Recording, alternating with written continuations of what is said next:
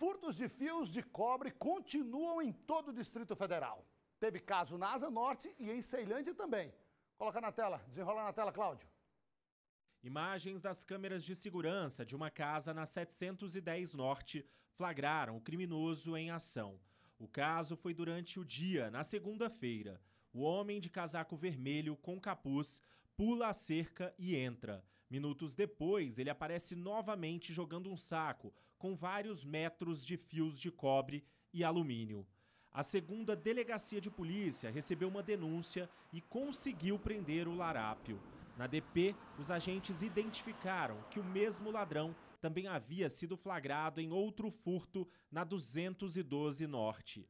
Ele aparece indo embora com um carrinho com alguns objetos e mais fios de cobre. De acordo com dados da Secretaria de Segurança Pública, apenas nos cinco primeiros meses deste ano foram registradas 1.331 ocorrências relacionadas a furtos de cabos de energia aqui no DF, um aumento de 131% em relação ao mesmo período do ano passado, quando foram registrados pouco mais de 570 casos. No início da semana, a 23ª Delegacia de Polícia realizou a Operação Caverna para investigar esse tipo de crime.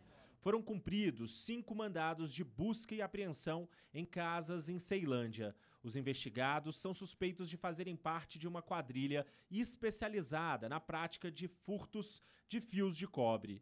Os ladrões trabalhavam em uma empresa de telefonia e aproveitavam a experiência na manipulação desse tipo de material para praticar os furtos.